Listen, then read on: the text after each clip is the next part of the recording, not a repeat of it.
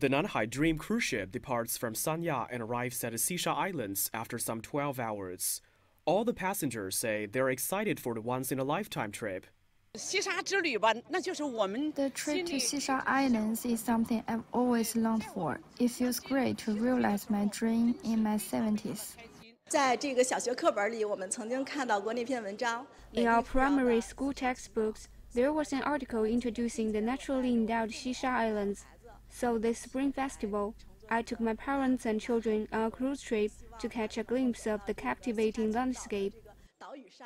Over the course of the trip lasting four days, tourists visit Quanfu and Yinyu Islands, play tug-of-war competitions on the beach, attend concerts and other activities. The beautiful Xisha Islands are alive with New Year atmosphere in Xisha, tourists write down New Year wishes on Spring Festival couplets by the sea, forming a huge Loong character in Chinese, marking the beginning of the lunar year.